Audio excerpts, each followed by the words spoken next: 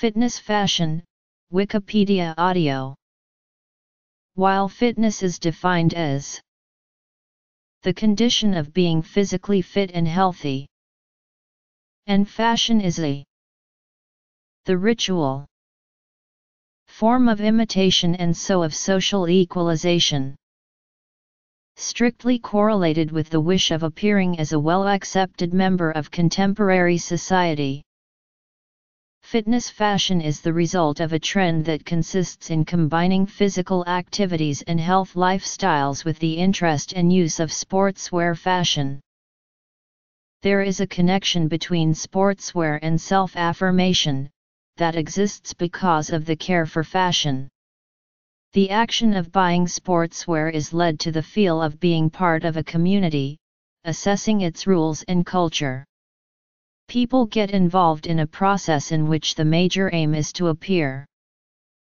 With regard to fitness fashion, the ritual is a ceremony which consists in the activities that take place in a fitness center or in a gym and which are the acts of undressing, dressing, exercising, undressing, showering, grooming, and dressing again. The act of undressing, as much as that of dressing, places the individual in a delicate ceremonial position. This ritual also implies a psychological dimension in which the individual is involved in a process of self-affirmation. What people want to wear is limited by a pre-existing, yet always evolving, ideal, which is the image of fashion itself.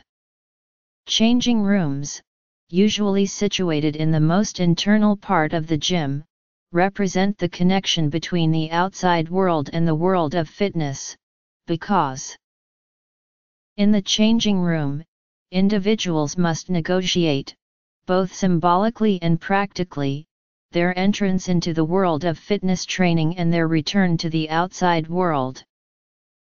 While the exercise places are usually filled with information such as posters and images of fit bodies, changing rooms are always unadorned, since they represent Symbolic meanings A moment of concentration before switching into the fitness mood.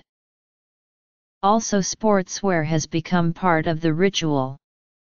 Being fit is not just exercising and eating well but also wearing fashionable clothes and showing it also through social media. Clothing comfort is defined by Lauren Slater as a pleasant state of physiological, psychological, and physical harmony between a human being and the environment. As a matter of fact, fitness fashion requires people to identify with a model. People start buying the same sportswear of the chosen icon they want to imitate, and then chose to act like him slash her.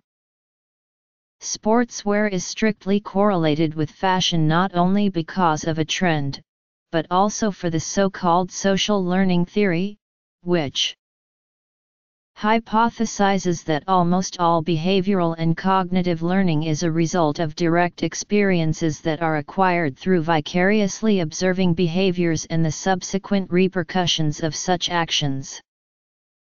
It is also for this reason that Nike and other retailers specialized in sportswear are experiencing an increase in profits.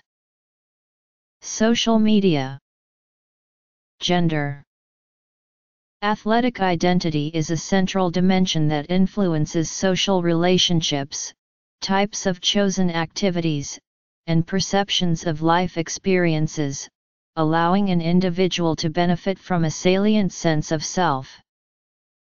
It is accepted that sports prepare individuals psychologically for daily life together with cultural activities. In this view, fit people are sexier and happier than non-fit people, they are well accepted from society as successful persons and in this way they are taken as models, influencing a large part of the social media audience. Since Clothing comfort is related to raising standards of life. Fitness fashion icons wear expensive and colorful sportswear, and also show how happy and self-confident they are in it. Furthermore, fitness influencers are showing lifestyles that involve healthcare and appearance care as well, especially through social media. Even the most important sportswear companies are involved in social media campaigns, first of all Nike, that give the possibility to their Nike and app users to share on Instagram their fitness achievements and progress. In fact, the app has been downloaded over 17 millions of times from all over the world users. With media, women are exposed to the symbols, with the muted expectation of achieving such image. Social learning theory suggests that females learn stereotypes and expectations through observing images through the media. Since social media are the most used instrument for information resources and connection among people, everyone can easily find a new inspiration through them. Every fitness influencer uses social media because of the direct contact with fans that the web offers. Sharing fitness goals and motivation is now a spread phenomenon that people begin to appreciate and concur. It follows that a simple photo on a social media becomes easily a form of advertisement, because who posted it wanted to promote his slash her lifestyle, that is represented in a direct way from the sportswear he slash she is wearing.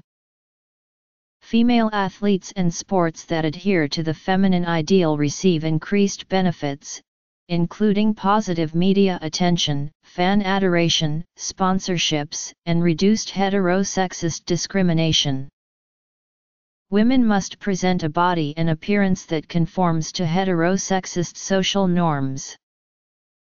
On the other hand, boys are taught that masculinity in sports is defined in terms of toughness and dominance and to express disdain for females and any boy seen as weak or unwilling to take risks on or off the playing field. Society and media emphasize athletic women's physical appearance and sexual attractiveness, through representing them as women first and athletes second. Thus, the feminine athletic ideal consists of an attractive appearance, thin body, and sexual appeal, which is conveyed also through clothing. Women's sportswear must fit snugly, but, most important must be sheath, exaggerating the female shape. In health slash fitness magazines are included four stereotypes for masculinity, physical action, power, stance, and muscles while for female it included three stereotypes, thin ideal, glistening slash wet look, and feminine face. Thus, the health slash fitness magazines tended to use the masculine and feminine ideals through stereotypes more than fashion magazines. Thus, who practice health fitness tend to be less dressed or used clothes fitting with the intention to emphasize the appeal.